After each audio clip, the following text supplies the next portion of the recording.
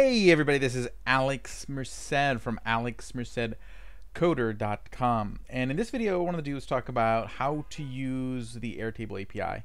I was looking to see if there was a good video on this and there really wasn't and it's really cool. I love Airtable in general. So if you follow me at all, you probably know I love Airtable. I use Airtable for all sorts of different projects. Um, because a lot of times you have small personal projects that just don't really need you to build a whole application from scratch. And Airtable really gives you the tools to do 90% of what you'll need for like small, for really anything um, when it comes to keeping track of data. Especially in its free tier, it's great for like small groups or small events and whatnot. And you could but let's say you want to display the data in your own sort of custom application or make use of the data in your own custom application because um, you know, you just don't want it to be using the Airtable interface. And again, Airtable, just so you're aware of the features. So this is like a, a basic Airtable database. Okay, I made one it's free, airtable.com. Go open up your account. Um, okay, I'll put my referral link in there so that way you guys can, we can both get hooked up with uh, $10 credit if you use my link. So that'd be nice if you can do that. But um, basically, out of the box, you can basically do forms, calendars, galleries, Kanbans, and the way you organize your information. They have all sorts of different field types. Um, let's go through the different field types. Okay, and you can do like formulas. So if you've worked with like CRMs where you can do all sorts of really cool fun stuff, um, you have all those features here. It's really cool and you can customize those views and then you can share them. So you can share them as a shareable page or create a widget that you can put on a web page. So you already have a lot of capability just without using the API. But again, maybe you had some custom usage um, of the data that you just can't do um, right here. Okay, so you want to put it through your own application. Or maybe um, there's just some sort of capability that doesn't work with the formulas and the features that are in. So you want to pull the data, manipulate it, and then store it back. You can do that. You can create an application that does that using the Airtable API. So I create this practice table. And the cool thing is that the documentation is pretty easy. You just go to airtable.com slash API, and then you can look up any of your different databases. So I have a lot of them. Um, and it actually creates custom documentation for your particular database. Um, Okay, all you have to, so I'm going to be using NP, the NPM backend JavaScript version. Um, there are different alternatives. So if you go over here to the beginning of the documentation, there is sort of a Ruby implementation and a .NET implementation to use the .NET database. Uh, there's also a browser version. Okay, I'm going to use the Airtable JS node uh, version of this. Okay, so let's go to my code just to show you guys how it works. So first, the first thing you'd have to do is npm i airtable. Okay, so you have to install the Airtable library, which I've already done. I've already been playing with this. You, like any library, bring it in. So I bring it in as the variable Airtable. I'm bringing in .env because I have my API key um, and my base ID as um, environmental variables because you don't I don't want to show you guys that on video because then you'd be able to manipulate any of my databases. Okay. Now, for some reason, your database API key does get exposed at any point. You can go to your account, you can just hit regenerate, and it just generates you a new one. And I think the old one expires. So, you know, you're not out of luck. But again, you always want to take those steps to protect your information. So that's why I would prefer to use the API in the back end because it's really hard to hide your API key on the front end. Okay, um, this is the reason why generally you do a lot of your data calls on the back end to, to avoid exposing that information. Okay. So in that case, that's what. So basically, what I'm doing here is I'm destructuring my API key and my base ID from uh, the my environmental variables. And then here we create a new Airtable object. Okay, and that's called base. You can call it whatever you want, but base meaning it's it's your particular database. This because I'm saying, hey, I want to I have this API key that shows that I have authority to to manipulate this base. This is the account that's accessing it, and this is the ID of the base. So then I'll try to connect to this base, check to see if my API key, my account has the authority to access or manipulate that base, and now it gets stored in this base object here that I can then do stuff with. So we'll go through some basic stuff. And let me just clear out the terminal so that we don't have all that stuff. There we go. So what I want to do is select a record. So I do base dot select is the function. Select just takes one argument. It's an object to query. So you can, um, like, let me just take a look here at my database. So let's look for one that, let's look for this record here. So we want the one that has the name hello. I'm pretty sure you just pass in name, hello, and then that'll query for the record that has a name hello. And then it returns you the results. So what I'm going to do is I'm going to use the each page, just first page, and then there's each page. Each page basically returns sort of uh, the ability to go through the different pages of results. Okay, you could also specify sort of how many results you get here and some other details, like, like I can show you in the documentation. So list records. So you can kind of see here, you have some options. Um, so we still here, they're saying to select the first three records from this particular view. So you're looking looking for the data in this particular view. Okay, by doing this, it's just doing the default view, which would usually be the grid view. Okay, so I'm going to try to do a query that way. Not 100% sure if that's exactly the way I should be doing it. Because um, usually I just pass in an empty object and get all the data.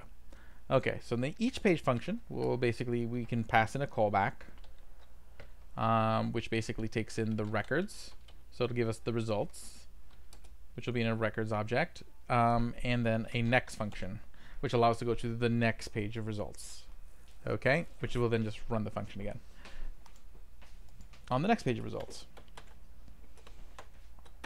Okay. And then what I'm going to do here, now that I'm in this callback, I can just do uh, records dot for each because it's an array. And we're just going to say the rec singular record. And we'll just console.log the record, which is a huge object. Okay, so I don't want to just console log the record itself. If I want all the data from the record, there's a property called fields that's literally the object with all the keys and values. So I want to console log record dot fields. And if I did this right, we should only be getting one console log for that one record. So let's try it out. Nope, base.select is not a function. Let's see here. Where did I make a mistake here? Base. Oh, I forgot the table name. Base needs to be a function. Base table one is the name of the table. Let me just confirm that. And table 1 is the name of the table. Okay, so in that case, uh, no. I want to go here. And then I can do that chain. So again, I have to select the table because again, the database may have many tables in it. And then I select my, do my query, and then I can iterate through my results.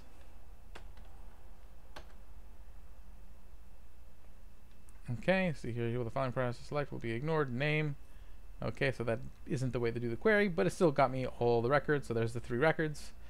Okay, so let's actually examine that a little bit better so we can see how you would query.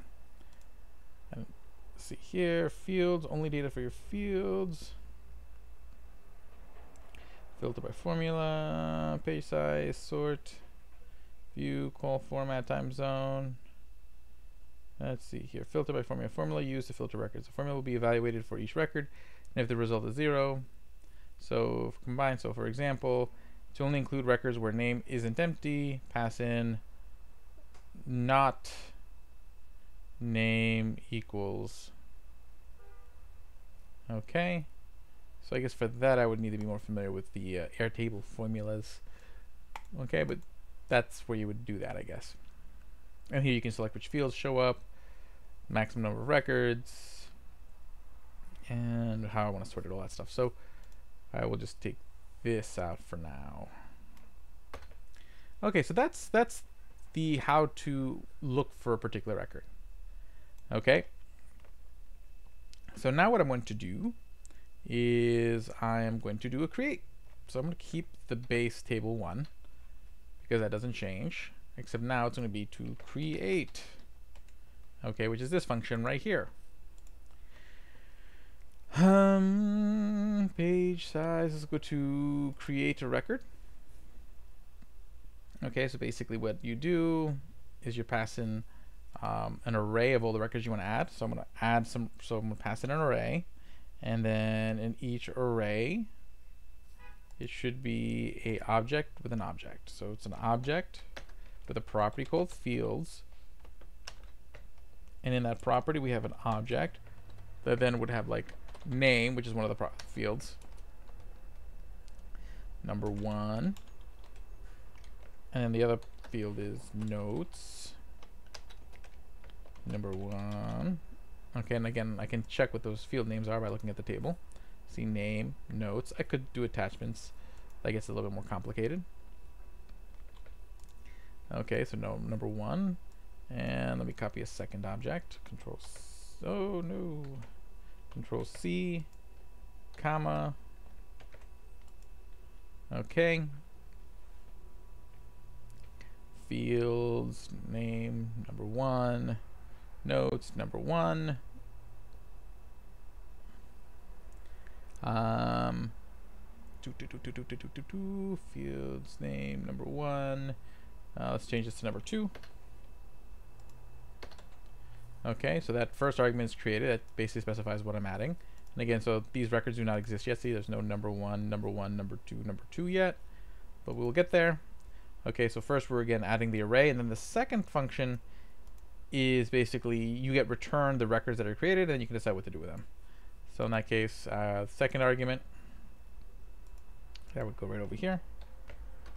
Okay, and then I can just do um, I think it was error records it was.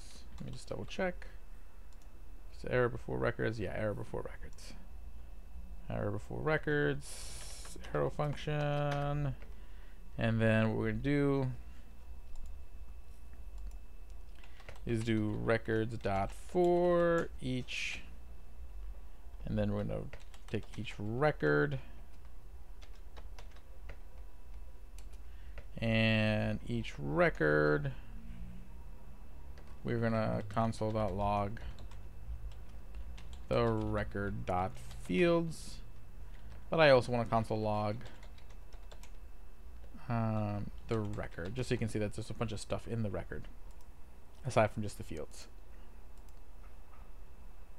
okay so that's the create we, we created one we're going to create two records and then we'll console log those records. So then I hit node server.js, That runs the thing.